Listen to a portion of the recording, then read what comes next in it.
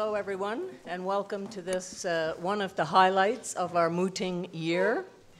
Uh, The judges' names have already been mentioned, but I would like to take this opportunity to start by saying a very special thank you to them, to the Honorable Justice Linda Lee Oland and Honorable Justice Justice David Farrar from the Nova Scotia Court of Appeal, and to Ms. Julia Cornish, QC, who is the President of the Nova Scotia Barristers Society. Um, As you all know, we depend a great deal on the legal profession and the judiciary to be a part of our community and to help us out, and this is yet another example of um, that assistance. Uh, It's greatly appreciated. I'd also like to acknowledge our mooters for the evening, Alicia Wilbert, Timothy Heneghan, Ian Wilenius, and Melia Moorhouse. Congratulations on making it this far. We're all looking forward to um, a great show of advocacy this evening. Um, You're joining a tradition that began in 1927. Um, That's the Smith Shield. As I said, it is one of the highlights of the year. Um, uh, It's uh, made possible by the very kind funding of uh, Stewart McKelvey, and we have here tonight Scott Campbell. Scott, thank you very much. Please take back to your colleagues our great thanks for their support for this event. We really do appreciate it. Uh, I want to thank Professor Shapiro for preparing the problem, and also Associate Dean Deturbide and his assistant Tatiana for organizing the event. Warn everybody, this event is being um, audio and videotaped. Please also take a moment right now to turn off your electronic devices. Thank you. Following the event, there will be some photos taken of the uh, judges and the participants, and then everyone is welcome to come up to the uh, third floor faculty lounge for a reception. Before I turn it over now to the presiding judges, I want to say two things to our four mooters. Uh, First of all, regardless of the outcome this evening, you're all winners. You're here because you're really good. You were selected to be here because of your skills and your performance. So you are uh, winners. It's just the nature of the adversarial system that in the end someone has to win and someone has to lose. But please remember um, that you are winners. Uh, the second thing is, I don't know where you'll end up three or five or ten years from now and whether you'll do any appellate advocacy, but I just want to reiterate that the kinds of skills you learn when you're doing appellate mooting are highly transferable. Um, persuasion, teamwork, hard work, time management, um, persuasive communication, thinking on your feet, problem solving, these are all really important skills. And um, I'm sure you've already uh, learned a lot from uh, getting this far in your mooting lives. Um, so thank you everyone for being here, and I'll now turn it over to our presiding judges. Thank you, uh, Dean Cameron. This matter of Daniel Estevez versus Her Majesty the Queen on appeal from the Supreme Court of Canada. Are the parties ready to proceed? Uh, Ms. Wilbert, I understand that you'll be the first person arguing? Whenever you're ready, please. Good evening, my lords, my ladies. This is the matter of Estevez and Her Majesty the Queen. My name is Alicia Wilbert, and I, along with my colleague, Timothy Heneghan, are acting as counsel for the appellant, Mr. Daniel Estevez. I'm joined by my friends, Ian Wilenius and Melia Moorhouse, who represent the respondents, Her Majesty the Queen. I will be addressing the first issue before the court whether the exclusion of the defense of duress for murder under Section 17 of the Criminal Code violates Section 7 of the Charter. My colleague, Mr. Heneghan, will be addressing the second issue whether this Section 7 violation can be saved under Section 1. The facts of this matter are set out at page 4 of our factum. So, unless this honorable court should like me to recite those facts, I propose to proceed directly to argument. No, we're familiar with the facts. Uh, Just one question for you. Would it make any difference if there was a little change in the facts that it wasn't his brother, that it was someone he did not know? Would that change the nature of your argument?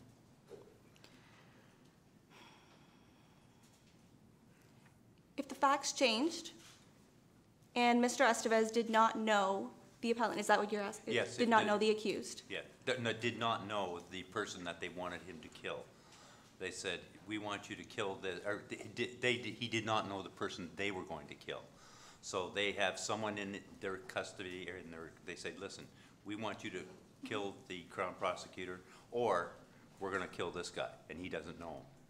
I think what we need to focus on here is that the facts present are that Mr. Estevez did know the accused, and that is critical to this case. So potentially, if the facts were different, that may have some impact. However, it does not change that Section 17 and its exclusion for murder violates Section 7 of the Charter. What, what do you say is the objective of section seventeen? Why is it there? It was cited in the facts that Section 17 is to protect innocent lives. This is an objective that my, uh, my friend touches on later that is clearly not met. So in your argument today, one of the things you're gonna focus on is the protection of the innocent life, which in this case is that of the Crown Prosecutor. Is that, is that so? What we're going to focus on today is whether Mr. Estevez's actions were morally involuntary, and as such, whether Section 17 violates the principle of moral of the principle of fundamental justice that moral involuntariness cannot attract criminal liability. And what do I do with the principle of the sanctity of life, particularly an innocent life? Yes, that's a great question, my lady. Um, if we're looking at the sanctity of life and looking at Ms. Godot's sanctity of life, we also must consider Fernando's sanctity of life. And if we're looking at both victims' sanctity of life, we cannot be weighing those lives because that is more of a justification. Rather, the defense of duress is an excuse based defense, which acknowledges the wrongfulness of the conduct.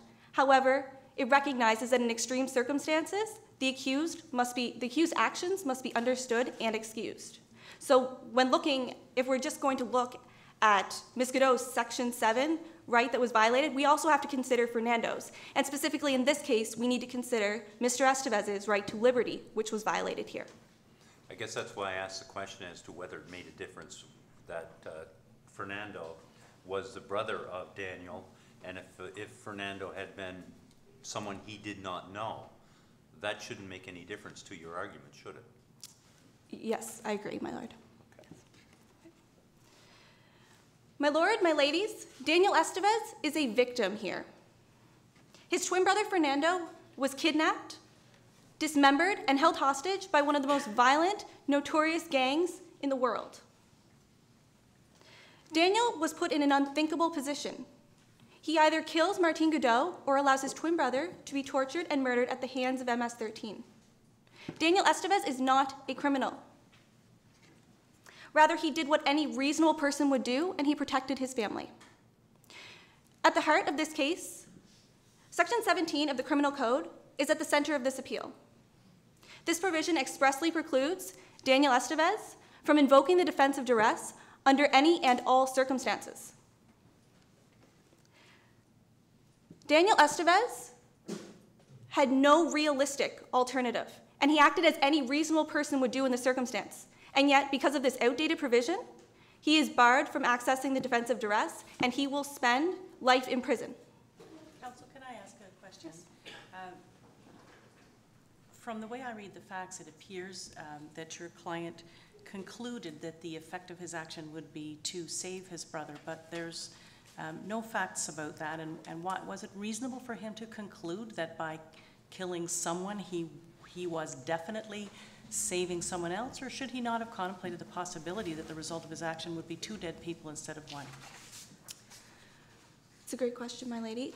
On the facts, we do not know what happens to Mr. Estevez's brother, Fernando. However, at the, what is important is what Daniel Estevez and what a reasonable person would have thought about those about the threats. Um, and on the facts, the MS-13 are a notoriously violent gang. They do not make empty threats, and Fernando's Fernando's death was certain.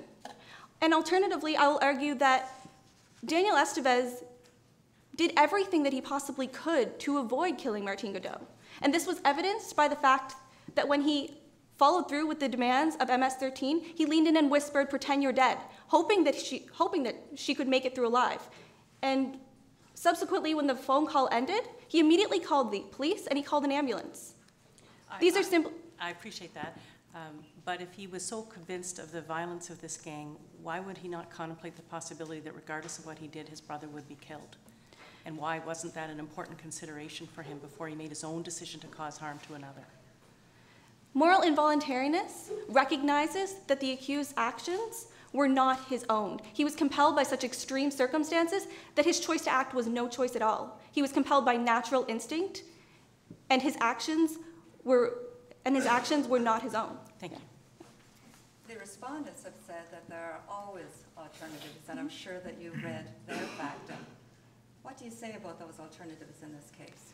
Yes, my, uh, my friend has cited some alternatives. However, the appellants submit that the alternatives that were suggested by the respondent do, are making baseless assumptions of MS-13's intentions. All we knew on the facts, and all our client knew on the facts, was that MS-13 wanted Ms. Godot dead. They did not ask him to stop the extradition process, so tampering with DOJ files, kidnapping Martine Godot, or deleting computer files would not have solved that objective. On the facts,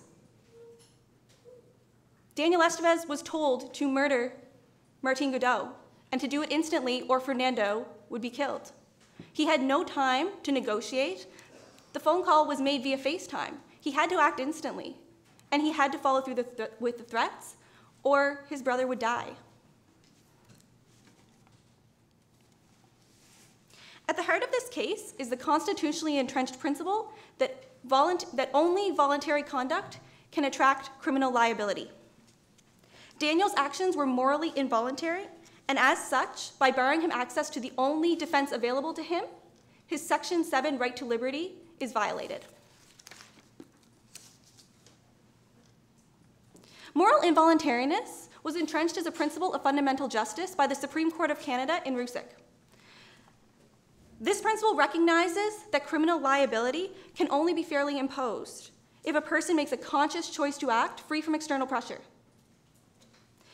In this, Section 17 violates this principle of fundamental justice because, as will be shown here, it is possible to commit murder in a morally involuntary way.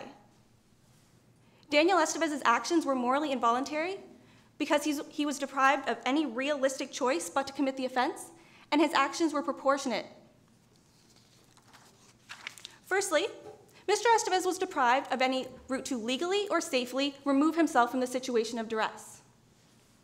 In a kill or be killed scenario, it may be argued that the accused could use negotiation, flight, or even self defense to avoid committing or breaking the law.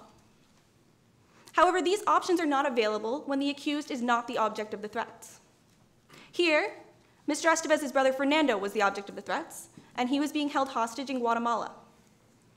In third party hostage scenarios, safe avenues of escape are drastically different. The accused can either seek police assistance or do nothing and allow their family member to suffer. In this case, Mr. Estevez was unable to rely on law enforcement.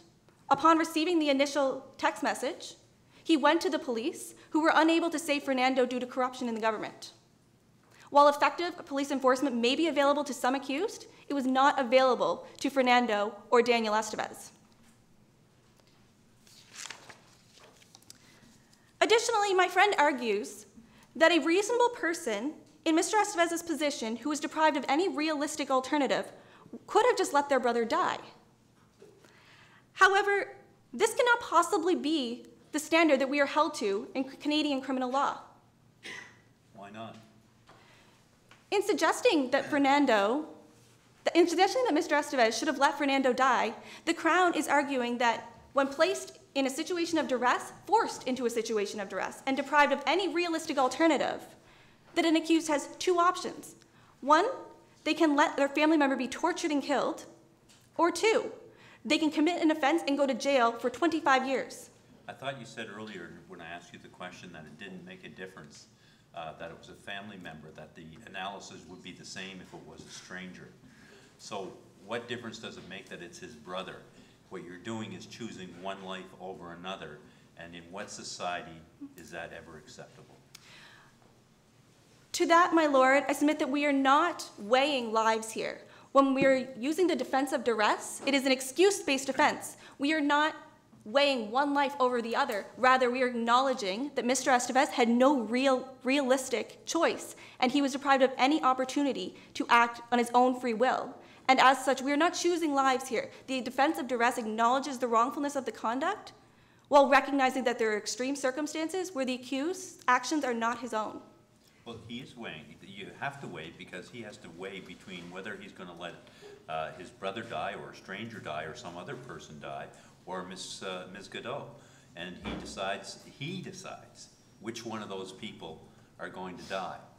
And, uh, what gives him that right under, and if you look at section seven of the charter, the right to life, liberty, and the security of the person, what about Ms. Ms. Godot's right to life, liberty, and the security of the, uh, person? How can he, as a, as an individual, make that choice? I submit, my lord, that he did not make a conscious choice to act. Rather, he was compelled by natural human instinct. And any reasonable person in the accused's position would have acted in the same way. And that is what is required from the standard of moral involuntariness. First, the accused must have been deprived of any realistic choice to act. And second, he must have conducted himself in accordance with what a reasonable person similarly situated would do. More than once you have said, he did what any reasonable person would have done. How do you know that? Like maybe somebody else would have said, this is a really hard choice, mm-hmm. and choose the other way. And that is an option that my, my friend has raised in his factum. However, I submit that that cannot possibly be the standard that we are held to in criminal law. The Canadian law expects reasonableness, not heroism. And a reasonable person is not a perfect person. An, a reasonable person placed in unreasonable circumstances may make less than heroic choices. Daniel Estevez should not be held to the standard of a hero. Counsel, I struggle with this, I will admit, because um, we're well aware of instances where, for example, a parent has put themselves in peril for the sake of saving their child. Um, If he truly wanted to save his brother, um, he- he was the person that was useful to this gang, and if he had harmed himself or even killed himself, his, his usefulness to the gang would have been at an end, and he, he thus might have freed his brother. So um, if we're well aware of examples where people sacrifice themselves rather than, rather than cause harm to another, why is that not part of the contemplation of what a reasonable person might do? So you're suggesting that a reason that Daniel Estevez should have sacrificed himself in this situation? It seems to me that if we're talking about uh, innocent person being sacrificed, there are three innocent people here that we're discussing. There's both the person who ultimately uh, uh, the death of someone else. There's the brother who's in peril of, of his death, whose outcome is uncertain. And there is a woman who um, is only dead because of his actions, um, who otherwise would have survived the whole incident. And so it seems to me that there are three lives that could have been considered here. So he had three choices to make, and he chose the one that would cause the least distress to himself. So he made a conscious choice of that. I submit that the choice that Daniel Estevez made is not the least harmful to himself because now he must live for the rest of his life knowing that he committed this grave act. And we, the appellants acknowledge that the conduct of Mr. Estevez was grave. However, we respectfully submit that the harm threatened was substantially graver. His brother was being threatened to be dismembered. In fact, the MS-13 went as far to say that they would cut off a body part every week and mail it to Fernando for a, or mail it to Daniel Estevez for a full year. We cannot, we cannot say that that harm is not significantly graver. And all that really is required from the standard, as required in Latimer and subsequently confirmed in Ryan, is that the harms are of comparable gravity. And here the appellants submit that they definitely are.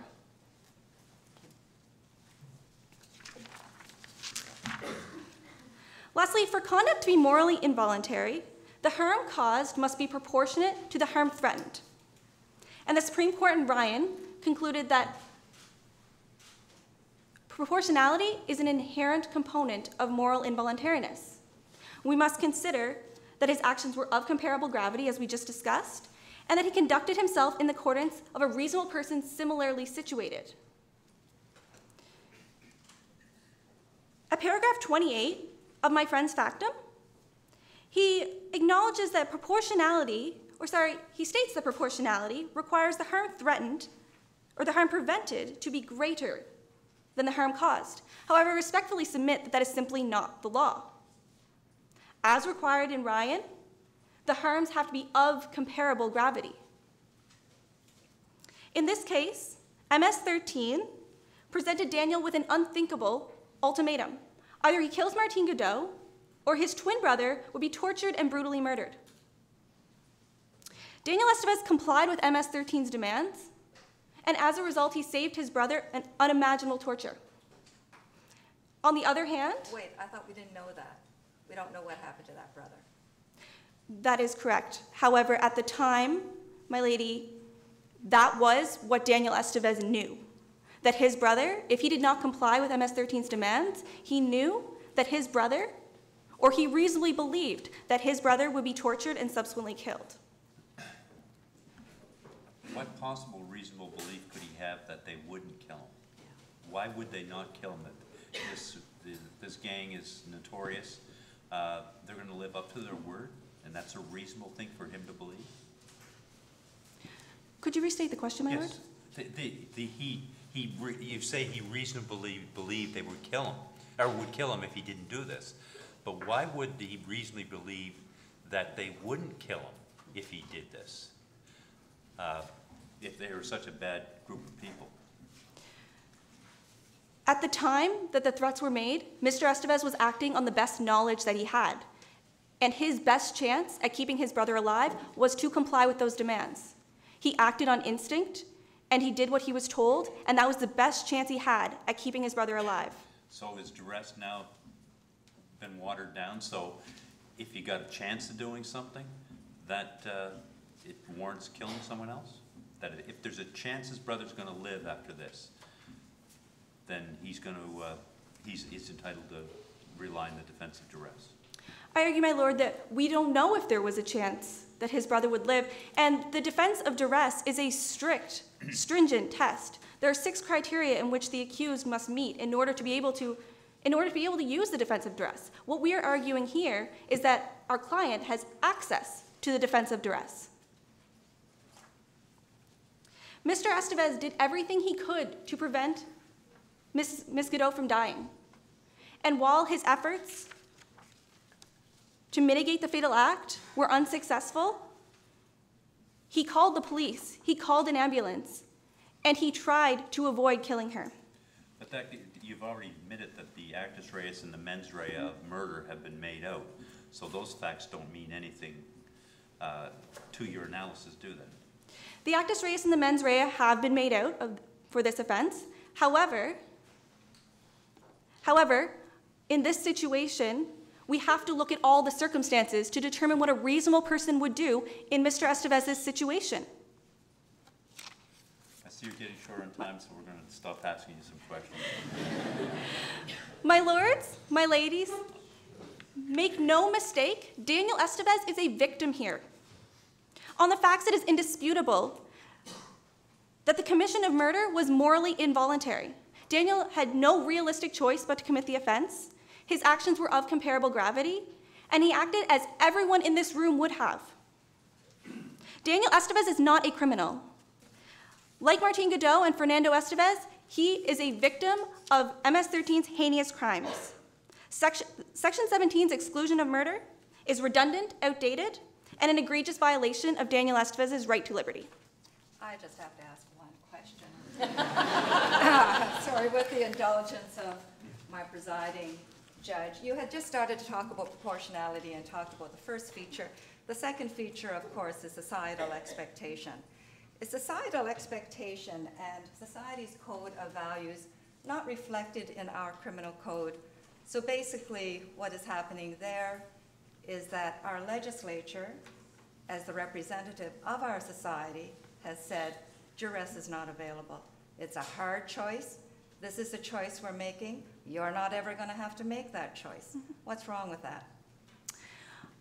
To that, my lady, I submit that while Parliament does enact our laws, they they must be subject to charter scrutiny, which is the job of the judiciary to ensure that Parliament's laws that they enact are good law and that they comply with the Constitution and are rights guaranteed under the Charter of Rights and Freedoms.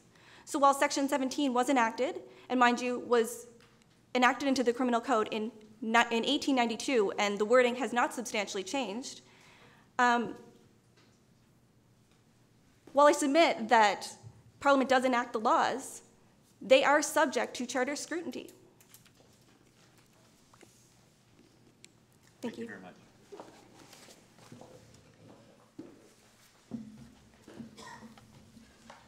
Mr. Heneghan, whenever you're ready, sir. Whenever you're ready. Good evening, my lord and my ladies. My name is Timothy Heneghan, and I'm appearing as counsel hmm, for the appellant, Daniel Estevez. It's been said that hard cases make bad law, but it's perhaps equally true that bad laws make easy cases hard. The exclusion of the defense of duress for murder is bad law. It does nothing to protect innocent lives or to stop terrorism. All it does do is ensure the imprisonment of the morally involuntary actor. Now, my colleague has established that statutory exclusion is a textbook violation of the Section 7 right to liberty. The onus thus flips the Crown to prove, on a rigorously applied preponderance of probability test, that this limit on liberty is of the sort that can be, quote, demonstrably justified in a free and democratic society in accordance with Section 1 of the Canadian Charter of Rights and Freedoms. Now, the appellants and the respondents, we are in agreement that the exclusion has multiple pressing and substantial legislative objectives. Among them, the protection of innocent life, stymieing terrorism, and ensuring that people do not too readily succumb to commit murder. But it's the means by which the law pursues these objectives that render it surely unconstitutional. For the exclusion is irrational, it's an egregious infringement of the right to liberty, and it confers little, if any, benefit upon the greater public good. Now, the onus is on the Crown to show that the exclusion is rationally connected to the aforementioned legislative objectives. And my friend submits at paragraph 40 of their factum that there is a, quote, straightforward rational connection between the exclusion and the objective of protecting innocent life. By deterring the commission of murder under duress, innocent life must be saved, they suggest. But deterrence is only effective when there's a true choice to be made. And the absence of a true choice is an essential element of any duress analysis. In order for the defense to apply, the accused must have had no safe avenue of escape, and they must have reasonably believed that the threats being made against them, or in this case, a third party, were going to be carried out. They'll have been reduced to nothing more than an automaton, compelled by remorseless human instinct to carry out their crimes. A man dying of hunger, he's going to eat food even if that means stealing. A hiker stranded in the cold is going to break into a cabin even if that means trespassing. And if a man is handed a gun and told to kill a stranger or watch his whole family murdered before his eyes, he's going to do what it takes to protect the ones he loves. Counsel, I'm concerned about that example because that's not the same level of proportionality as you find in this case, because you're talking about one versus three, and that's not the case that we're presented with. The case is one life over another. And so I would suggest that that is not necessarily an apt analogy here. Can you comment? Uh, respectfully, milady, I would suggest that it is an apt analogy. At the section one portion of the analysis, we're looking to weigh uh, the infringement on uh, the, the Canadians at large as opposed to the specific infringement in question. That's more appropriate for the section seven analysis. So we're looking uh, to imagine anybody whose, whose liberty could be infringed by this law such that the comparison applies. I see. The exclusion of the defense of duress for murder, it's built on that irrational premise. It punishes people for making a choice when in actuality there was no realistic choice to be made. Now, with respect to the effectiveness of the exclusion in advancing the alternative legislative objective of stopping terrorism, the notion that this exclusion deprives terrorists of a tool for committing their acts, that is plainly false, and it's false on the facts of this case. With or without the exclusion, duress has been and will continue to be a tool for carrying out terrorism. Terrorists and criminals, they don't care about the potential imprisonment of those they're exploiting any more than they care about the lives of the innocent civilians they're having murdered. So is there not a societal interest in saying that if you go that way, duress is not a defense, and thereby increase public security? Because the actor knows where he stands, and it's always important for every member of the public to know what the law says is the law. So you're saying that the uh, ambiguity that the law, that the existence of this law uh, kind of resolves is, I'm is a positive, that it might, might assist with the terrorism example. It's not going to affect the terrorists, the people who are making the threat, but it might affect what the actor does. When he thinks about his choices, he knows it's going to be criminal liability, it's going to be life imprisonment, which at a minimum is going to be 25 years before parole, and maybe that will stop terrorism, because the actor is taken out of the picture. What do you say to that? Milady, respectfully, I would say to look at the six elements of the duress analysis. They are extremely stringent and exacting, and they don't allow for the kind of wiggle room that can sometimes hypothetically be posed when people are making their case for the exclusion remaining. Bear in mind that the accused must reasonably be, believe that the threat being made against them or a third party will be carried out. If that prerequisite isn't met, if they think, if they're, if they're concerning themselves with legal defenses, that's probably a pretty good indicator of the fact that there is a safe avenue of escape or that they don't believe that the threat is as grave as it could be. If you are at the point, I posit that you are concerning yourself with the potential imprisonment that you're facing for your crime, you're probably not under duress, under the strict duress analysis. Now, again, in this case, we are not arguing to apply the duress analysis directly to the facts. We're arguing that the defense of duress be available to be raised. And those, those requirements are stringent and exacting. And respectfully, my lady, with respect uh, to the notion that the, the exclusion somehow stymies terrorism, in Bedford, the Supreme Court established that the Crown is well placed to call social science or expert evidence to suggest uh, that the benefit conferred upon a law is uh, the, the extent of the benefit conferred by the law upon the greater public good, pardon me. No social science evidence has been introduced to suggest that this law confers any benefit, which is curious given that there are many common law jurisdictions, including American states that border Canada, that don't have the exclusion in place. So if there is evidence that this law does anything to thwart terrorism, if there's a threat of this outbreak of uh, duress related uh, murders that would not have been committed but for uh, the absence of the exclusion, we welcome the Crown to call that evidence before this court today. We have not seen it.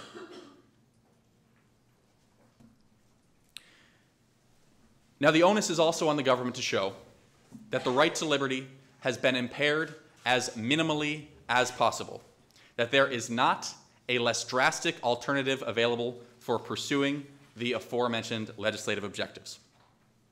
Now, at the outset, it's hard to imagine a more extreme impairment of the right to liberty than the exclusion of the only defense that can keep the accused from facing a mandatory minimum sentence of 25 years. The obvious alternative, as acknowledged by my friend, is eliminating the exclusion altogether and allowing the, the accused to raise the extremely stringent and exacting defense of duress. Vital to a successful application of any uh, defense of duress, pardon, is that the harm threatened against the accused be of comparable gravity to the harm inflicted by the accused, and additionally, that the actions of the accused accord with what society would expect of the reasonable person similarly situated. My colleague touched on this as well. If the accused cannot satisfy both of these elements, we are in agreement that they will deservedly be convicted. we're simply looking for access to the defense, not that it automatically be applied. Now, my friend submits that the categorical exclusion is minimally impairing because it is the only way of reflecting the prevailing societal consensus that murder can never be excused, and that this consensus has been communicated by our democratically elected government. But the notion that the societal consensus is that murder under duress can never be excused, that is flatly incorrect. First, as my colleague noted, the impugned exclusion is a relic of the first Criminal Code of Canada. It was implemented in the late 19th century in the years following Confederation, a century before the Charter was introduced, and an additional 15 years on top of that before moral involuntariness was recognized as a principle of fundamental justice. Additionally, if we want to follow my friend's logic that acts of parliament are the best expression of societal consensus, well, we would point to Parliament's 2000 enactment of the Crimes Against Humanity and War Crimes Act. And the CAHWCA, in Section 11, explicitly allows for those accused of genocide, war crimes, and crimes against humanity to invoke the defense of duress in proceedings before a Canadian court. So, if my friend's logic is to be carried to its logical extreme, they suggest that Canadians are never okay with excusing one isolated incident of murder under the criminal code. But we are okay allowing the accused to raise the defense of duress for mass murder, perhaps the only crime more heinous. Can I clarify something? Absolutely. I may have, I may have gotten this wrong. It's confusing. Um, I, I I beg your pardon? I'm sorry, I didn't hear you. Yeah. Sorry. Um, Just want to make sure I understand you accurately. Um, I I understand that you're arguing strenuously that the defense of duress exists, but did I hear you say that you concede that it's possible that your particular client in this instance may not be someone who will qualify for what you say should be the defense of duress? I can- Because I thought I heard you resist applying it in this specific instance. Am I accurate there? I concede that now is not the time for resolving that question. And So in your, for your client in this particular case, this is not necessarily the right instance. Perhaps not. Right now, we're just talking about the availability of the defense of duress. If you want me to comment on the availability of that defense to my client, I could, but at Well, this. I I just Yep. wanted to understand if I heard you accurately when you said you're not necessarily saying your client would qualify under the definition that you would have us adopt, but that you fe- feel that it should be available to your client and others like him, even if he doesn't necessarily qualify. Is that accurate? Exactly. Thank you. And, and the defense of duress, just to, the six elements are established in Ryan, so it's, yeah. The appellants submit that the 2000 enactment of the Crimes Against Humanity and War Crimes Act is a better reflection of contemporary Canadian values than the 1892 enactment of Section 17 of the Criminal Code. As stated by the Supreme Court in Ruzic and myriad other decisions across all common law jurisdictions, the law does not expect heroism. It expects reasonableness. Now, at the final stage of the Section 1 analysis, as laid out in Oakes, we weigh the negative impact of the law on protected rights against the beneficial effect of the law in terms of the greater public good. And the negative impact has been established. The accused is deprived of the opportunity to argue their case on their merits. Their right to liberty is violated to the gravest possible degree as they face a life in prison for a crime they had no realistic choice but to commit. Now, to justify an infringement of this grave degree, the beneficial effects for the greater public good would have to be enormous. And as I've stated before, in Bedford, the court says you are free to call social science evidence to suggest that those beneficial effects exist, and none has been called here. Now, my friend does warn, citing a potential beneficial effect, that, quote, without the exclusion, international criminal gangs would be beyond punishment because they're out of jurisdiction. International criminal gangs will remain international with or without the exclusion in place. The exclusion does nothing to address the issue of jurisdiction of the criminal gangs. Now, my friend suggests at paragraph 51 that if the gangs are not brought to justice because they are out of jurisdiction, then someone must be. They state that it is, quote, unacceptable that no one be held accountable for the murder, that this means there is, quote, no justice for those lives lost. But holding the morally involuntary actor responsible, that's not justice. That's accountability for accountability's sake. If the true wrongdoer can't be brought to justice, we don't just go looking for an innocent scapegoat to take their place in jail so that we can sleep a little easier at night. That's a witch isn't- hunt. Isn't, isn't all that Parliament's doing when they talk about that is looking at proportionality and saying, listen, it's never gonna be proportionality when you kill, take one life for another. We can't have you measuring those types of things and have individuals measuring those types of things. So let's take that off the table for those types of crimes. And so don't argue uh, duress in these certain circumstances.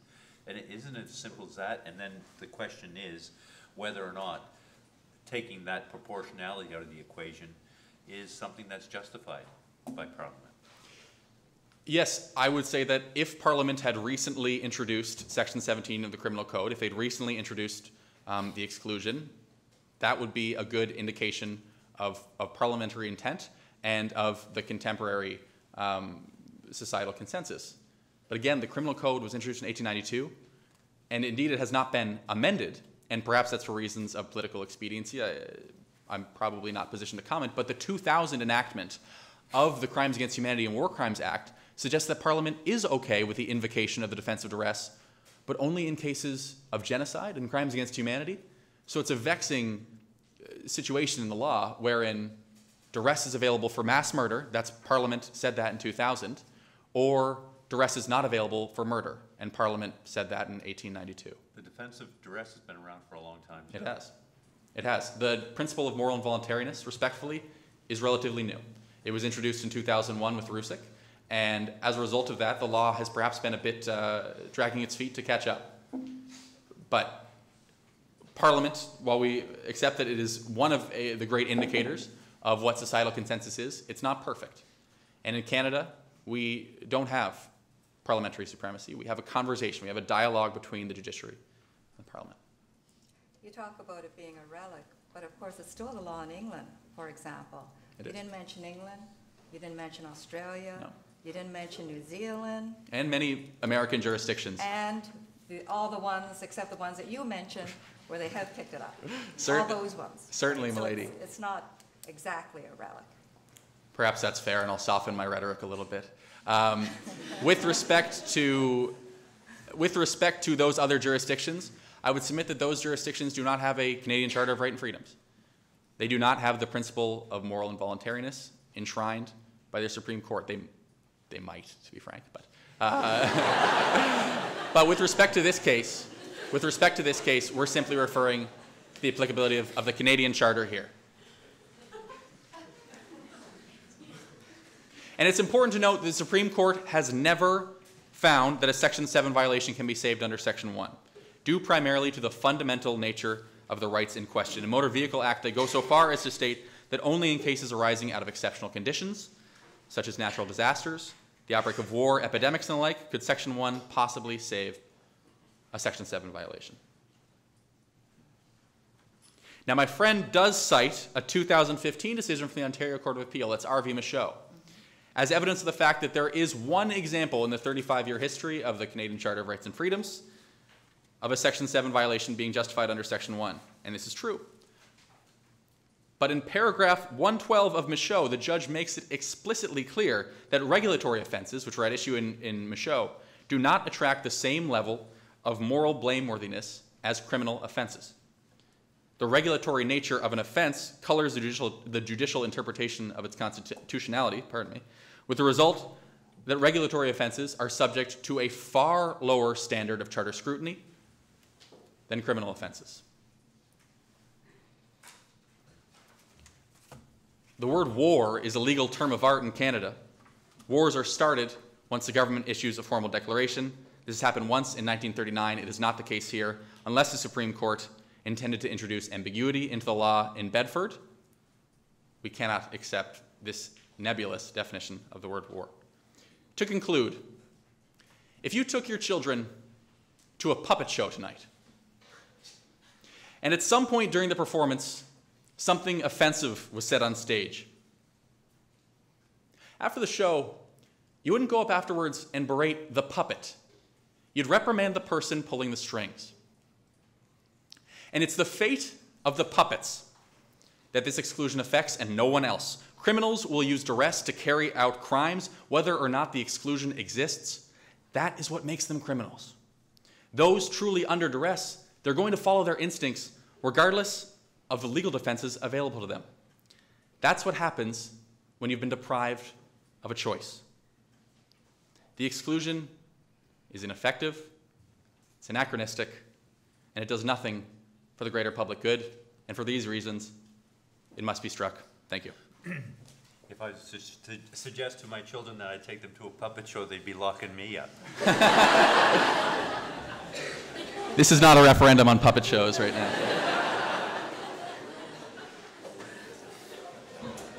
Okay.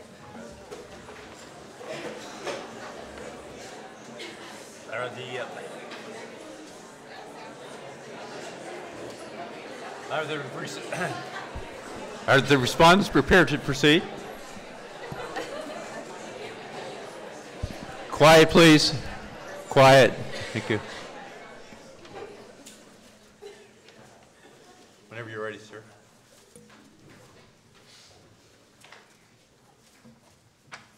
Whenever you're Good evening, my lord, my ladies.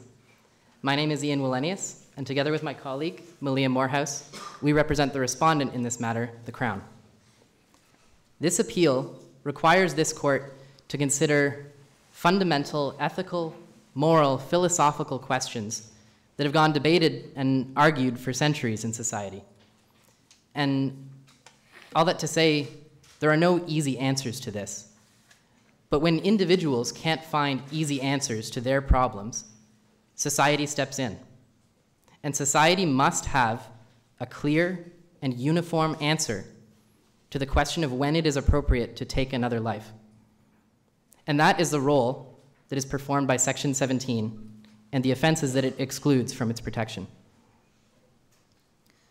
My friend, Mr. Heneghan, suggested that the issue in this case is whether or not his client, Daniel Estevez, has access to the defense of duress.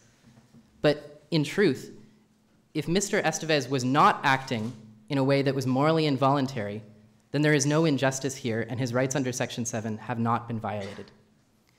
The issue that I will argue before you here today is whether or not the exclusions in Section 17 for the, for the offense of murder infringe Mr. Estevez's right to life, liberty, and security of the person under Section 7.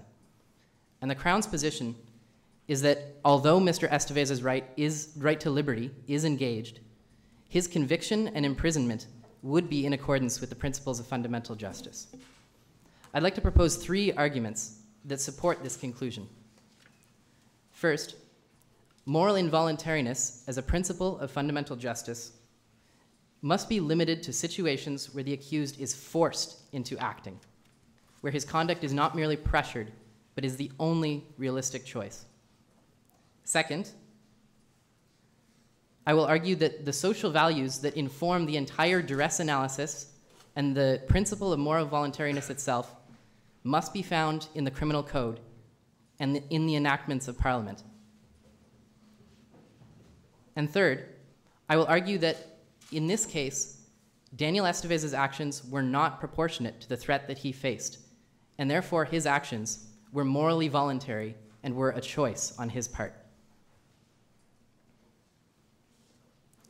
The principle of moral involuntariness was identified in Ruzic, but its tradition is, is very long standing. It wasn't merely introduced in 2001. This is a, a principle that the Supreme Court identified in Ruzic that had, had an, uh, was the foundation of the defense of duress. And in Ruzic, they merely granted it charter protection. But it's been a principle since we've had a legal system that only voluntary conduct may attract criminal responsibility. The Supreme Court in Ruzic made an analogy between physically voluntary conduct and physically involuntary conduct, pardon me, and morally involuntary conduct. And the analogy they used was that if a criminal gave someone a knife, closed their hand around it, and stabbed an innocent victim, that that was involuntary and of no choice of the actor.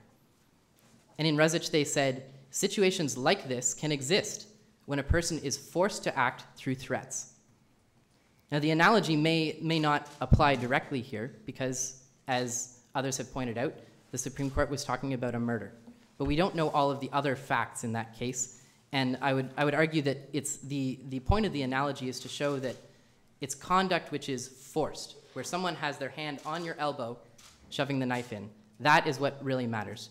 And so there has been suggestions, uh, for example, in the, the formulations of uh, Justice LeBel in Ruzic, that conduct which is not freely chosen or which is pressured should be subject to charter protection. That when it's pressured, that that's what we should care about. But in fact, it must be compelled, it must be forced. Because plenty of choices in everyday life are pressured. There are external constraints on all choices that we make. If you go to the grocery store, you may buy milk on Monday instead of Tuesday because the price is lower. But, and that choice is directed by forces that are outside of your control. But that is not what moral involuntariness means. Moral involuntariness is the analogy of having someone force you physically to do it, but it, the force is in your mind, is in what your, your morality forces you to do, that you only had one choice. Counsel, if I can ask, then, you heard the appellant argue that at, at the end of the day, his client in effect became a puppet, and therefore had no free will and no ability to make choices. What do you say about that? Um, I, I would say that my, my friend Ms. Wilbert also talked about him having to make an unimaginable choice between doing nothing and between killing Ms. Godot. And I would, I would submit that that is the, the, the choice that exists. That certainly it is a difficult choice, but he did, Mr. Estevez made a choice to choose one life over another. And that is not acceptable in our society. Thank you. That's, e- that's very easy to say, uh, that it's not acceptable in our society. But what's wrong with what Mr. Heneghan said that uh, we could do is if we strike it down, you still have the common law defense of duress, which is very stringent in its conditions. But Why not uh, allow the courts to look at that and say whether or not that should be sanctioned or whether it shouldn't be? Um, my colleague Ms. Moorhouse will, will talk in greater detail about the, the impact that Section 17 has. But from, uh, from the perspective of Section 7, the importance of the law is in providing this, this moral buttress to an accused who, this moral support to an accused who is placed in an unimaginable situation and who has the law on their side in making what society deems is the right choice. The choice not to take another life when you're put under threat. But you just said it's an unimaginable situation. Uh, he's got to make one choice or the other. And uh, why is it that there's a cookie cutter uh, uh, way of dealing with that? Why would we not allow it to look at the facts of each and every case and decide whether or not in those particular circumstances that it's, it's culpable homicide as opposed to uh, excused by the defense of duress? I would, I would say that this is, this is a societal choice that no, no person should have to make that choice between two lives. And that as a society, we don't want to perform that valuation in, in courts as well. That that choice has been made for us by, by ourselves, but also by Parliament. Because the, the moral code, as exemplified in the criminal code, is not merely an agglomeration of individual values. This is a, a collection of societal values and societal choices that some may not agree with, but that we must follow as this is, this is our societal moral code. Do you agree that Mr. Uh, Estevez's actions here were morally involuntary? No, I do not. He made a choice. His actions were morally voluntary. Uh, and I'll, I'll get into the, the proportionality analysis and why exactly his, he had choices. So if you're coming to that, please carry on. as we've, we've already discussed uh, at length here today, proportionality and realistic choices and realistic alternatives are critical to the, de- the defense of duress and the analysis that goes with it. If the accused had, uh, pardon me, only a proportionate act where the accused had no reasonable alternatives is capable of triggering a situation of moral involuntariness. And the reasonable person in the circumstances is the, the test that we must look at. Not whether Mr. Estevez felt that this was the only choice that he could contemplate in his mind, but whether it was the only choice that a reasonable person in his circumstances would have done. And a reasonable person is imbued with the social values of society. A reasonable person knows that Parliament has, has denounced murder even under threat. And a reasonable person would have cultivated other alternatives. So my friend Ms. Wilbert says that, uh, that Daniel Estevez was acting on the knowledge that he had at the time. But a reasonable person would have asked questions when he was told, you must murder this person. Well, the reason that there's a caveat with respect to the reasonable person, it's a reasonable person in that circumstance. So you don't always act with the niceties of asking questions and, and thinking it over in your mind. It's kind of like self-defense. You don't have to be, uh, do the, you don't have to fight force with force. Uh, it can be a greater force than the force that's going to be put on you. At, at the time you're making the decision, you don't have to, you, you have to do it in a split second of time. You have to do it. And the question is, would a reasonable person in those circumstances do what he did? Not what a reasonable person would have done. Surely, my lord. Uh, but it's, it's important to note that Daniel Estevez had several months between the first threat and the final threat that led to his killing Martin Godot. It is in, in that circumstance that he should have been asking questions, that he should have been cultivating his options. And when that critical moment came, he still had options to negotiate, to, uh, to seek other help, or indeed to do nothing and avoid what was ultimately a greater harm in the eyes of society and in the eyes of a reasonable person who would have been placed in those circumstances. So I'll, I'll talk about uh, what my friend Ms. Wilbert has said, the, the, that the harms must be of comparable gravity. This phrase was used in, uh, in Latimer uh, and was, was referred to in Ruzic, but was not referred to in Ryan at all. The Supreme Court in Ryan said the harm must be equal to, or uh, the harm avoided must be equal or greater than the harm caused. And uh, the second point that I will, I will, and that I will make about this is that in Latimer, this conclusion that the harm must be of comparable gravity is undercut only a few paragraphs later when they said at paragraph 40 that it is difficult at the conceptual level to imagine a circumstance in which the proportionality requirement could be met for a homicide. So in Latimer, when they made this phrasing about comparable gravity, they then say that there will never be something that's, that's proportionate to a homicide. And surely they were contemplating a life for a life. And so the, the phrase that the appellants rely on as far as determining what proportionality is was undercut in exactly the same case from, from which it stems. And another thing that I will say about, uh, about this is even if uh, we adopt the formulation of comparable gravity, the harm that Daniel Estevez caused was far greater than the harm that would have been caused had he took, taken other options. The harm that would have been caused by MS 13 to his brother Fernando. Because that harm must be, must be analyzed from the perspective of society, from a, uh, the reasonable person in the circumstances. And so, what's critical is that Mr. Estevez was following the instructions of a terrorist group, was carrying out this, this activity on behalf of terrorists and furthering their objectives.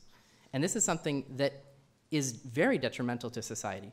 Society surely has an interest in avoiding the objectives of terrorists being carried out. And that must factor into the analysis. And that makes this harm much greater. Assume we're of the view that a reasonable person in the same circumstances as Mr. Estevez uh, was in a, on that occasion would have done exactly what he did. Then where, where do we go from there? Then uh, unfortunately for me, I think we would have to find that that was morally involuntary conduct. Right, and that, but even though it was morally involuntary, we're precluded from applying the defense of duress because of the provisions of section seventeen. In effect, what- yes. That would be your answer. But what I would also say is that the, the social values that are core to both the duress analysis and uh, uh, to moral involuntariness, those social values that imbue the reasonable person and with, whi- which, with, with which lens we view conduct, those are all found in the criminal code and are reflected in the exclusion in section 17. So although the act may have been proportionate as far as the, the harms were concerned, the, that social value still must factor into the analysis. And so a, a reasonable person in the circumstances, if, if that person imbued with the values of society truly would have done exactly the same thing, then there is a charter infringement. But that's not the case here.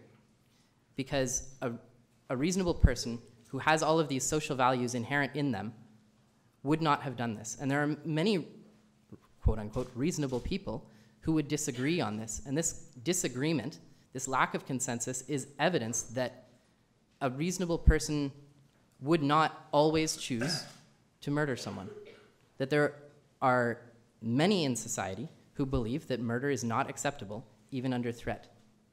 And if we're, if we're not going to accept Parliament's word for it, despite what I've argued already, then we must look to that lack of consensus that not everyone would choose this.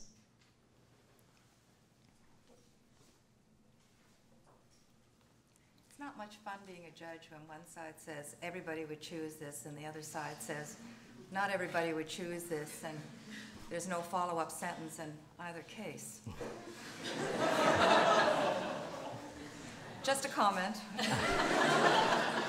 No, unfortunately, my lady, I wish this case were more fun, but it's not. now, I, I will. I would like to speak to uh, something that Mr. Heneghan brought up, which is that these social values, he says, are a relic. Uh, but these social values underlying duress uh, were not only implemented in 1892, but have been re-examined in the Charter era.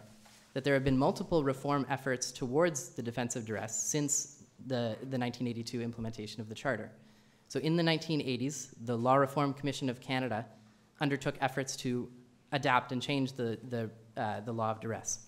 Now these implementations, these, these changes were never implemented, but what's important is that all of these reform efforts in the Charter era, with the context of Section 7, all maintained that murder was never, was never uh, defended by duress, was never excused, even under threat. So they're not a relic of the past. These are current issues that society still believes, that parliamentarians and, uh, and researchers and law reform critics of the law still believe have a place in our legal system. Reform proposals have, have recognized that there is value in keeping this bright line rule that accused, when placed in this situation, must have something else to rely on besides their own individual morality.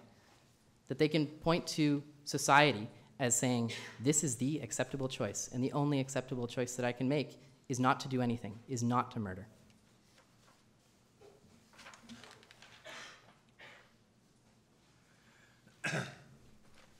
Counsel, if I can ask you, your opponent uh, argued that um, we should be influenced by Canada's adoption of the Crimes Against Humanity and War Crimes Act and, and the availability of duress as a defense for people who've been involved in war crimes, and genocide, and that would appear to be a relatively recent enactment of Parliament. How does that affect the arguments that you've been making before us? Um, my, my colleague Ms. Moorhouse will talk a little more about, about how that enactment and international law is not directly applicable and is not binding in this case. But what I would say is that, um, that they, those crimes are not murder.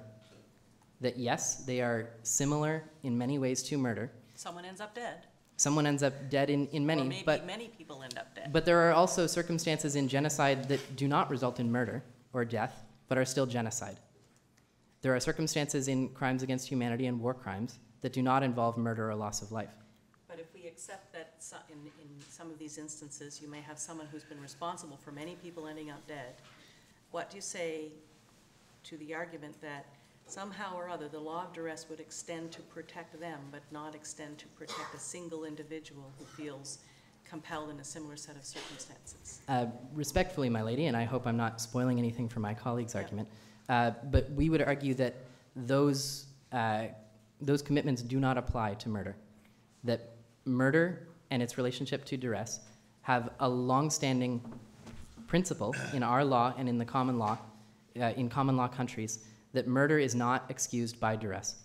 And so, although there may have been enactments about other offenses, which may be similar in many ways, they did not address murder. Uh, and while we may draw some, some conclusions about, uh, about crimes that are similar to murder, this case is specifically about murder. And if they wanted to excuse murder by duress, they surely would have said so. Thank you. Just going to ask you a quick hypothetical, because I see your time is getting short. But you talked about murder would never be uh, an appropriate response. Let's say, for example, that Mr. Estevez has two brothers, and they're both with uh, MS-13, and they're on the other end of the line as they are, and they say, "You go kill her, or we're going to kill your brother, one of your brothers." He doesn't do it. Boom, they shoot the, uh, the first brother.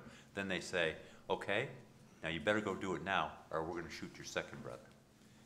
Would that ever be justified in that circumstances? Does it, does it, is that more morally involuntary than what you've indicated now? Because we know they're gonna carry out the threat?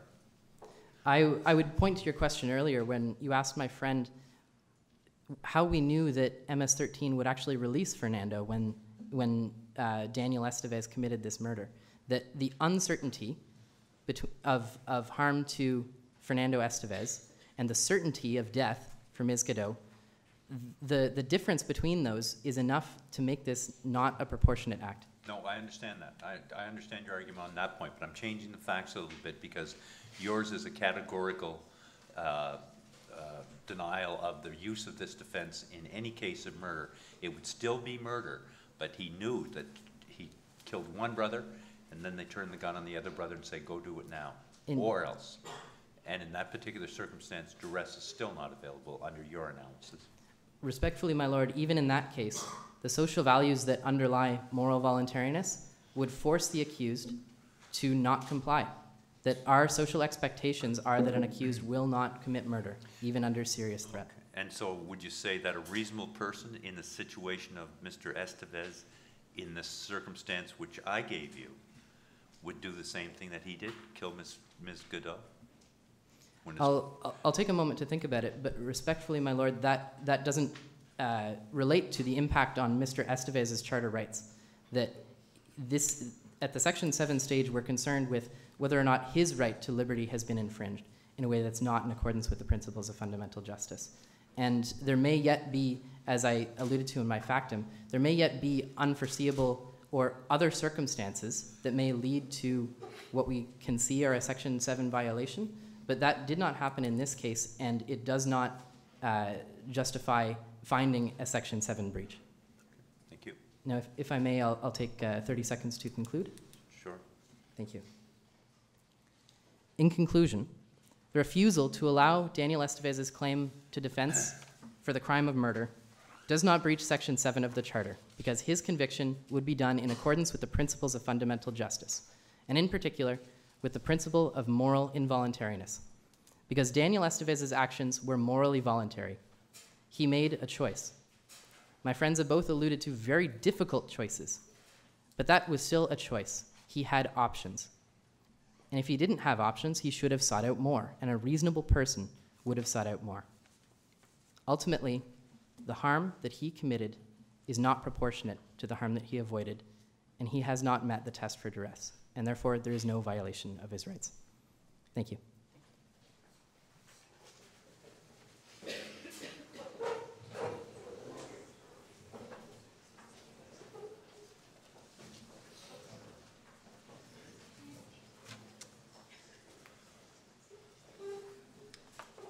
Moorhouse, whenever you're ready.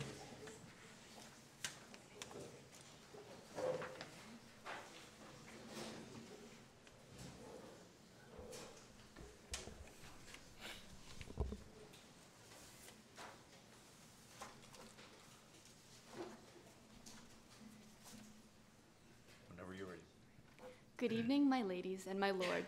My name is Melia Moorhouse, and I'm also appearing on behalf of the Crown tonight. My co counsel has just addressed for us whether or not Section 17 is infringed, infringes Section 7. And now I move on. If you do not accept his persuasive arguments, I put to this court that despite an infringement, Section 17 is saved by Section 1 of the Charter. This case addresses a question of morality that has been debated for many years. That question is whether one can claim duress for the crime of murder. We know that people may commit murder for any number of reasons, such as infidelity, jealousy, or even for money. And while those individual people might feel justified in what they did, we as a society find this type of behavior reprehensible. The moral compass of society has indicated that we will not accept this behavior. Crimes are a societal wrong, as in they are a wrong committed not just against the individual, but against our society. While individuals may differ in their moral compass, our laws and our criminal code reflect what the collective society finds as unacceptable behavior. They assert this through our democratically elected government who implements the laws, and they have done so through Section 17, and they have decided that duress cannot be used as a defense to murder. For the reasons I will discuss, duress must be excluded as a defense, and this is based on an application of Section 1. Section 1 embodies an analysis that balances both the risks and the benefits of a law across a population. The question that I will answer today is whether the broader public in- interest justifies the infringement of Section 7. Today, I will take this court through an application of the Oakes test, and I will show that there are multiple pressing and substantial objectives that are rationally connected to the law. Then, I will show that the law is minimally impairing because the alternatives do not achieve the objectives. And lastly, I will show that proportionality does exist and that there are additional salutary benefits to keeping this rule in place. Before diving into the Oakes test, I do want to address the issue that my friend has raised on whether or not Section 1 will ever apply to a Section 7 infringement. Firstly, I'd like to point that the case law does not say that Section 1 should never be looked at, and so it is still a required analysis that I believe this court should consider today. And secondly, I find that this is the perfect case for the application of Section 1 for a number of reasons. My friend points out in paragraph 59 of his factum a quote from the case Reference Re Motor Vehicle Act, and it says, Section 1 may, for reasons of administrative expediency, successfully come to the rescue of an otherwise violation of Section 7, but only in cases arising out of exceptional conditions, such as natural disasters, the outbreak of war, epidemics, and the like. My friend has narrowly interpreted the definition of war to mean only when the Canadian government formally declares a war, such as in the Second World War. This is an unfair characterization because war can take on different methods, such as the Cold War of the 80s.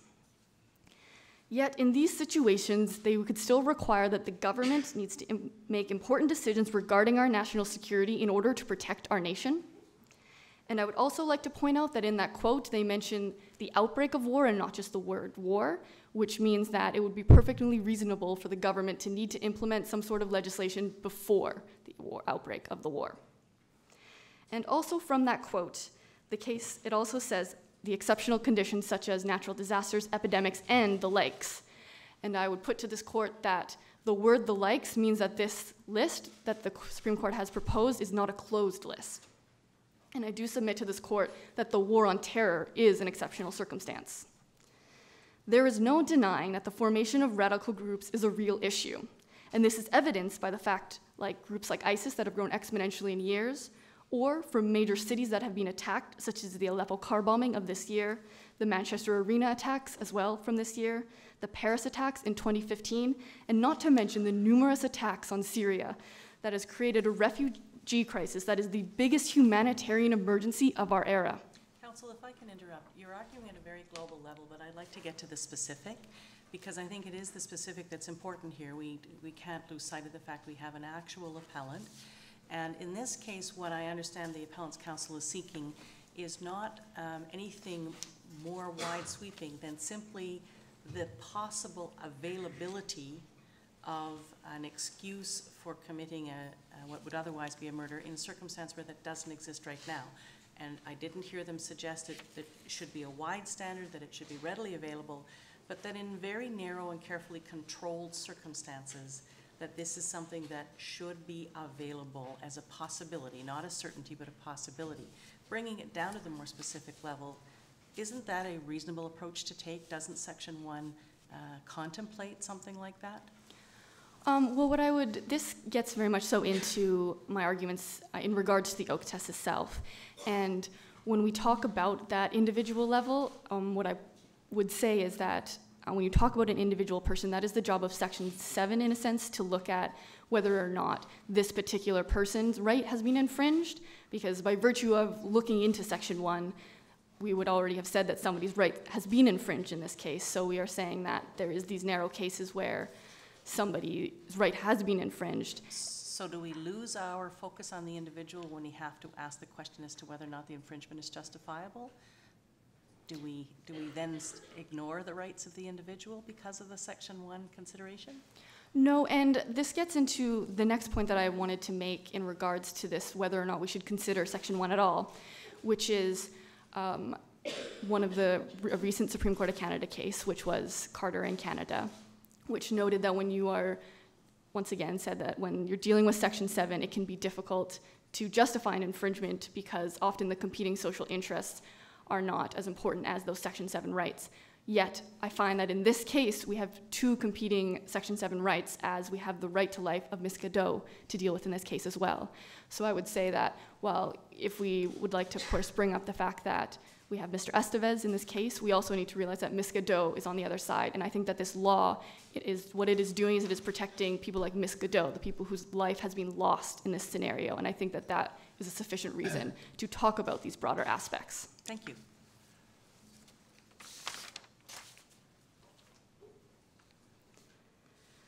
So I think that now that we have established that I believe Section 1 is important to look at in this scenario, I think that it is important now to move on to the actual Oakes test.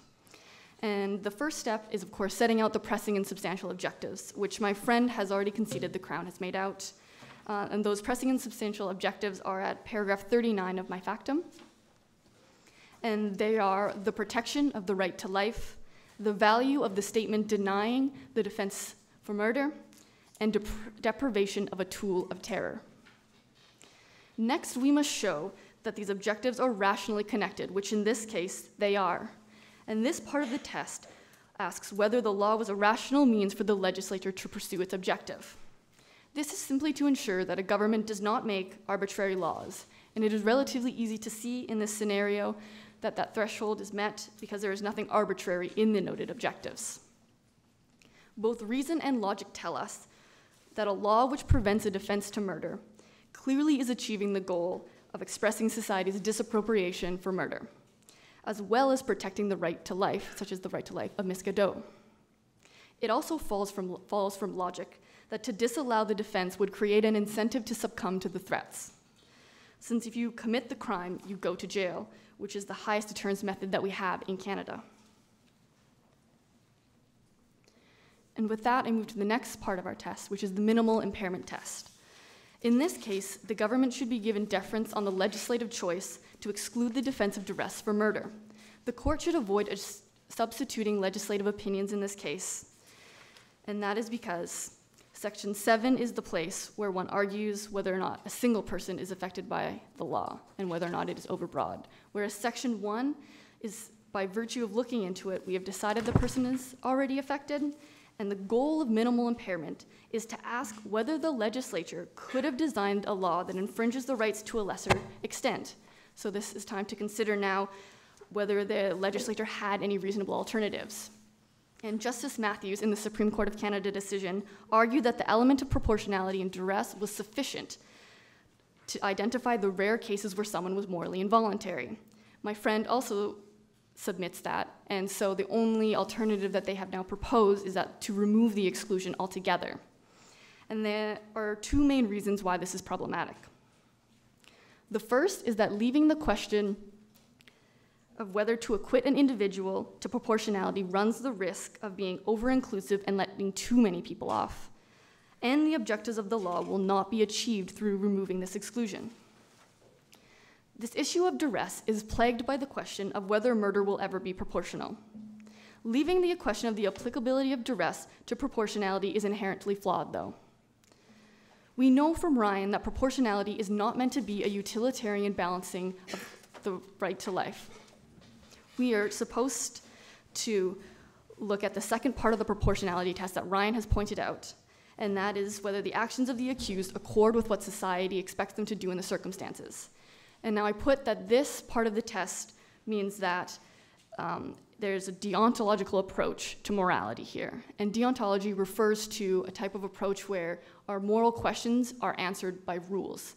And this is exactly what our criminal code is the moral questions answered by our laws in the code. And thus, I would say that Section 7 is one of those rules in that it gives us the answer to the second part of the proportionality test from Ryan, rather than leaving that question to be uncertain. We know the answer because the answer is what society thinks, and it is what they have told the government through the democratically elected government. The reason this rule is better left is because individually people can differ on their stance on this issue, as we have seen already today. And when you propose to someone the classic philosophical problem, the trolley problem, people will give fascinating and different answers. And while this is interesting, it is not something that should be debated in the courts or with the jurors, as they are meant to be the triers of facts in these cases. So, leaving this question of proportionality will result in the application of duress being both too broad and too uncertain. So, it is better to keep this law in place. So, this brings me now to the second part. Yes. Where's the uncertainty in the application of the common law defense of duress? It's very well established. It's been set up by the Supreme Court of Canada in Ryan, with which I have some familiarity. Uh, uh, So where is the uncertainty in the, the application of that, uh, of the test, uh, the common law test of duress? Well, as my friends have already noted, the test is very stringent, and of course, the test for common law is the same as the test for the statute that we now have because of Ruzic. Um, but what I would put to this court is, I would just put to this court that the speaking around about the common law defense is that there is a different scenario than the one that we are dealing with now. One, because obviously the common law defense is meant for aiders and abettors. And it's a different scenario than the person who I think personally has done the act in this case. And so while I believe your point is interesting, I don't think it necessarily has an impact on the question of constitutionality that we are dealing with today. Well, the first, as I read the first parts of both of the statutory and the uh, common law tests, they are exactly the same. There must be an explicit or implicit threat of present or future death or bodily harm described, directed either the accused or a third party. So they're, apply in the same circumstances. And so at the end of the day, when you talk about, uh, you have someone who has had their section seven rights breached, which is uh, life, liberty, and security of the, of the person, obviously, one one of the most serious breaches you can have. Uh, Why not just leave it to the courts to do the proportionality test to determine whether or not the uh, defense should be available? And what I would say to, um, in regards to the common law one is, like I said, when you, if you're claiming the common law defense, then you aren't the person who, like I said, has done the killing yourself. And I think that society's views would differ between both the common law and this question of the person who actually does the killing. So, to give an example, I think society would say if somebody threatened your life or so you have to die or you mop up the blood. I think most society would say mop up the blood, whereas society would differ if you say your life is threatened or you kill the person. I think society would have different answers in those, and I think in regards to when it's aiders and abettors, um, our courts will be better and the jurors will be better able to answer those questions because they're not as severe as the question of will you kill someone personally to save your life or save the life of your loved one in this case. So, moving on to the second problem that there is with proportionality, and this is that it doesn't achieve the objectives of the law. And minimal impairment is a determination of whether a less intrusive, in, intrusive means would achieve the same objective or would achieve the same objective as effectively. And removing the exclusion does not achieve the pressing and substantial objectives that I've already noted. It clearly doesn't achieve these objectives because it doesn't protect the victim. By removing the exclusion, we are saying it is okay to kill them in certain circumstances. It also does not achieve the objective of guiding individuals to what we know is the moral choice not to kill. It encourages those individuals to cave sooner to threats because they know that the defense of duress could potentially be available to them. Removing that exclusion removes the only legislative deterrence that we have that requires resistance to the threats. Besides completely ignoring the objectives, the alternatives also mean that justice will not be achieved in this scenario. If we take this case, we see that MS 13 was able to threaten Mr. Estevez from a place of safety for them because they were able to evade capture. Mr. Estevez was MS 13's only link to be able to get at Miss Godot. Without him, they could not have infiltrated a secure building to do the act of killing Miss Godot. While this puts the accused in a difficult situation, it must be seen that a law that prevents MS 13 from infiltrating our Department of Justice is an important law that must be upheld. So you're saying that if the law stays the same, that will have that effect? Yes, I would say that with the law in place, then Mr. Estevez would have, in this scenario, probably not have helped MS 13. And what the result of that would have been would have been that either Ms. Godot would not have died, or that MS 13 would then have had to find a way to potentially try and commit the murder themselves, which would then expose them and allow our justice system to be able to apprehend them. I'm, I'm a bit confused because we currently have a law that doesn't make that um, excuse available to him, but it didn't prevent him from committing the action of murdering Ms. Godot. Yes, and what I would say to that, of course, it is a difficult scenario, and my friend has put that potentially someone would do this in this scenario anyways, but life imprisonment is the highest deterrence method that we can possibly ingrain in our system, as it, we do not have the death penalty. So the only thing that we can do is, of course, put this person in prison for life, and whether or not at the end of the day that person has decided to ignore the law or not, they will be punished for something that they knew they did was what they did was morally wrong. Thank you. What do you say to, to the puppet example? The people who, who are the true perpetrators here are the terrorists. And yet, in the result, what you are arguing for is a man who was faced in a very difficult and immediate situation, making what he thought was a good choice. Maybe not the best choice, but one of the ones that he had. And so, as a result of that, he has attracted criminal liability. He has been stigmatized, convicted, sent away. We don't even know his own family situation. And so that's general deterrence, in your view. He's an example for everybody else. Are we really just doing Monday morning quarterbacking here and looking for somebody, anybody to blame, when really this person is not the person to blame? Where's the justice in that? Well, what I would say to that is when we look at it that way, we are looking at the aftermath of this scenario. And, well, of course, the aftermath is the unfortunate result of Mr. Estevez. What we need to focus on, I believe in section one, is that we are looking at something that is the greater public good, and that greater public good is that this law is in place to hopefully prevent other scenarios like Mr. Estevez, so people will know that their only choice is not to succumb to the threats.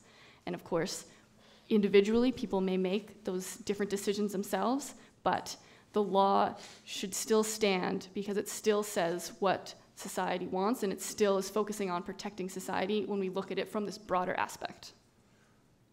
Is that, do you need an evidentiary burden for that? From the Crown's point of view, to show that, in fact, that the, leaving this law in place will have the deterrent effect that you think it will? Are you Or- asking, Or is it just speculation? are you asking the burden that is on the Uh, Crown today? Yes, Well, the burden for the Crown today is a balance of probabilities. right, but what, do, do they have to lead evidence on that point, at, that this is going to have that sort of effect when they're do- looking at the section one analysis?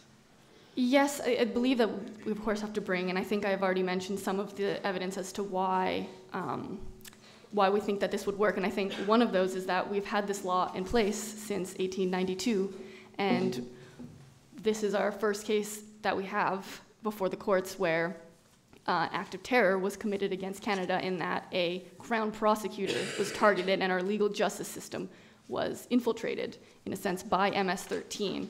So I think that partially shows that this law does have this effect that I'm claiming that it will have. And I think that um, while we do have Mr. Esteved, who, of course, uh, went against the law here, that I think most people in most cases will abide by this law because the risk to them is not only do they get life in prison if they do this, but they also have to live with the fact that they killed somebody, they took a life. And that is not an easy thing to live with. And I think that most people would choose not to do that, especially when they know that they are succumbing to a threat from a terrorist and what they know is a wrong thing to do. And so I think that most people would indeed adhere to Section 17. Okay. Uh, You can take a minute to wrap up. Sounds good. So to conclude, Section 17 must be upheld in this case to ensure certainty that society and the individuals will be protected and to prevent the abuse of the law to commit the heinous crime of murder. While this is a difficult decision to make, some concessions to human frailty go too far. While some might do wrong here, that does not make it right. It remains wrong. And sometimes too much of a wrong to be excused. So we submit to this court that this appeal be dismissed and that the Supreme Court of Canada's decision be upheld. Thank you very much. Uh, Any rebuttal? Okay. Well, thank you very much for your uh, arguments and your written materials. The court will adjourn and come back with a decision very shortly. Thank you.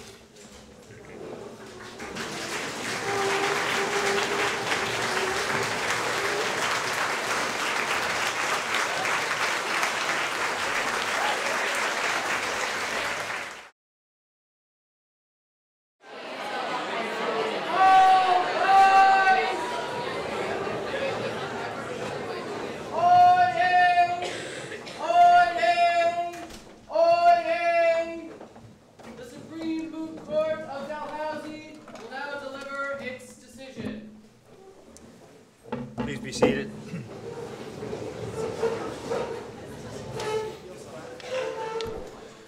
Before we, excuse me, before we give you our decision, we're going to have a few brief words for the, uh, the mooters, some constructive uh, comments. So we'll start with uh, Ms. Cornish first.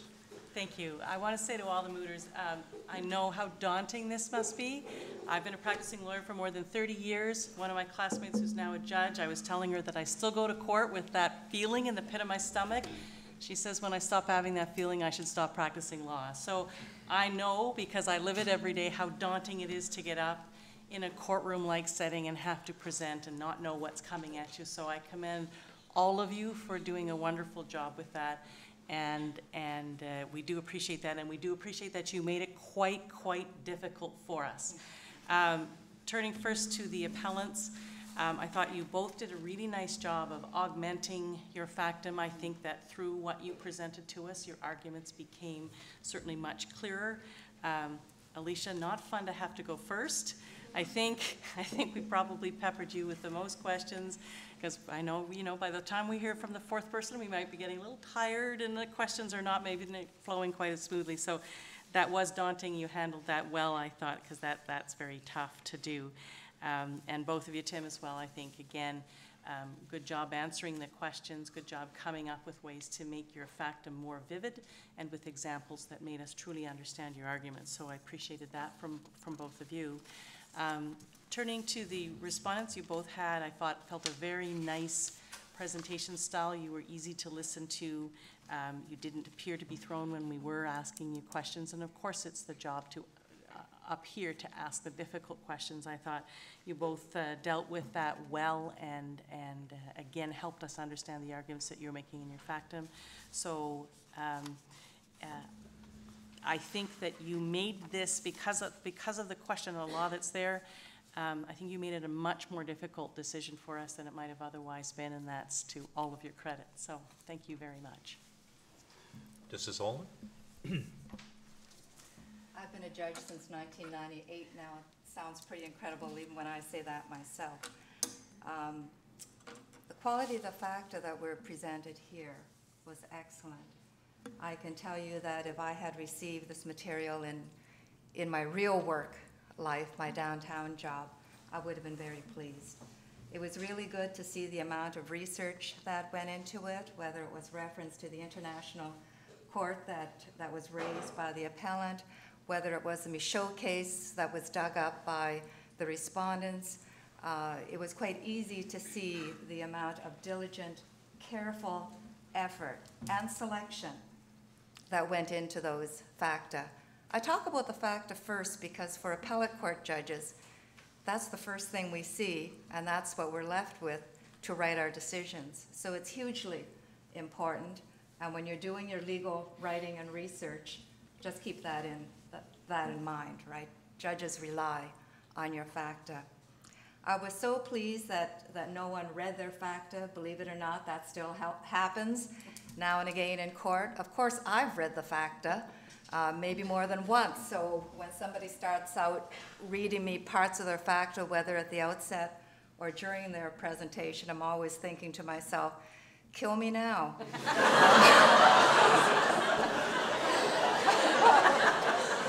Um, But of course, you'll never hear me say that, like, you know. But for us, it's important that, you know, you get our attention, you get it quickly, and you maintain that. And all of you were able to do that today. So what makes an effective counsel, in my view, is quite simply somebody who helps the court. Because we're the ones who are stuck with that hard decision at the end of saying whether it's A or B, and more difficult why it's A or B. So it isn't always the greatest orator or, or the most aggressive litigation style or whatever. It's actually that whole thing about helping the court. And how you know what help the court needs is usually found in the questions that it asks. Those are where we're kind of stuck trying to sort out things and, and looking for guidance. So I was quite impressed today that, that all of you withstood the questions. A couple of you were actually a bit bold in your answers and disagreed with uh, the person who raised the question. That's always good to see courage. Um, However foolhardy. we never hold it against you, right? We'd rather candor than, than avoidance. So none of you withered under questioning, and, and that's a great credit to you. So I just wanted to say that many, many years ago, I argued the Smith Shield. I didn't win. But, you know, if you don't win, things could be worse. You might end up as an appellate court judge. Hopefully you'll get a better job than that, though. Some, something that, something that pays some money. Uh, it's funny that uh, you, there are a number of appellate uh, judges on our appeal court that actually have argued this moot over the years. Jamie Saunders has argued it as well. So uh, if you, that's what you uh, strive to do, maybe it's a good start. I echo the comments of my colleagues. Uh, uh, I, like uh, Justice Oland, start with the facta. Uh, You cannot necessarily win your case with the facta, but you sure can lose it. And because as, uh, when you, that's the first thing that we say, see, excuse me, uh, first thing that we see and the first thing that puts the first impression in our minds. And that can be, be very difficult to overcome at the end of the day, no matter how good an oral advocate you are. Uh, uh, we meet and discuss the facta before we hear the oral argument. So always be clear or, and- concise in your factum. Uh, it's important to be brief. You don't, you don't need to be repetitive. Uh, get to the point, make your point, and move on.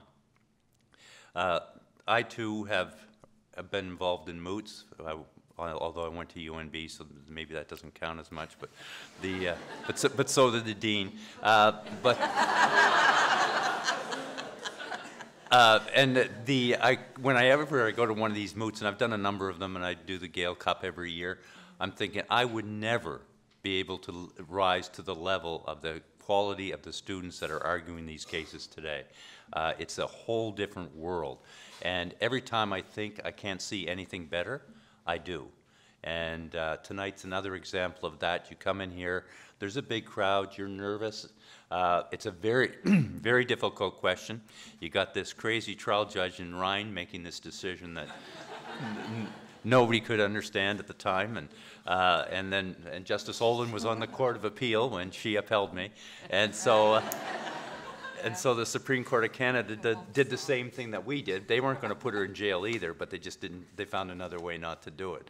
But it, it's a very, very difficult case, very difficult fact scenario, and something that's, uh, uh, I'm sure we're gonna see more of in the future in light of the, the things that, um, we are seeing going on now. So uh, all of you did a great job. Um, The clear, concise arguments, uh, stood there, took our questions. We were, Alicia, we were a little more difficult with you, but you can blame that on Professor Shapiro because he told us at dinner, he said, you know, get, come out of the gate really fast and and so, so that's what, uh, you know, we follow orders, uh, so we did that. But in any event, uh, great job, and we're now in a position where we can announce the winners. And I'm going to announce the runners up first, and this is the Leonard A. Kitz Prize in Adv- Advocacy for Skills in Legal and Oral Argument. And the winners of the Leonard A. Kitz Prize is Alicia Wilbert and Timothy Heneghan.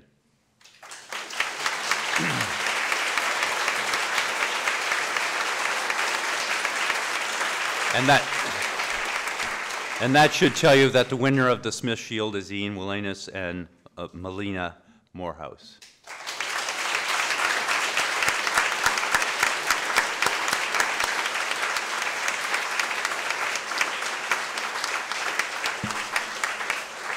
We will, um, we'll, I guess there's some photo ops going to happen here, and then we will be around at the reception if anybody has any questions or comments they'd like to make to us about how we conducted ourselves.